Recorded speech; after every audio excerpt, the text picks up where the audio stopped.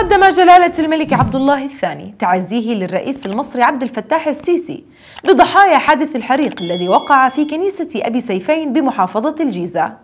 وعبر جلالته خلال اتصال هاتفي مع الرئيس السيسي عن مواساته لأسر الضحايا وللشعب المصري الشقيق بهذا المصاب الأليم وتمنياته للمصابين بالشفاء العاجل. هذا وقد وجه غبطة البطريرك بيير باتيستا بيتسابالا رسالة تعزية إلى البابا توادرس الثاني بفاجعة حريق الكنيسة وجاء في رسالة غبطته باسم البطريركية اللاتينية في الأرض المقدسة أساقفة وكهنة ورهبانا وراهبات ومؤمنين.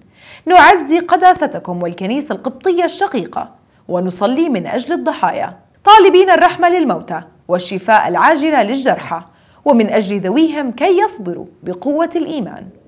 وبهذه المناسبة الأليمة يتقدم المكتب الإقليمي لفضائية نورسات الأردن وفلسطين ممثلا بمديرته الدكتورة باسمة السمعان وفريق العمل بأحر التعازي والمواساة للشعب المصري عامة والكنيسة القبطية خاصة لضحايا حادث الحريق المروع الذي وقع في الكنيسة القبطية في منطقة إمبابة بالجيزة والناتج عن خلل كهربائي. الرب أعطى والرب أخذ. فليكن اسم الرب مباركا.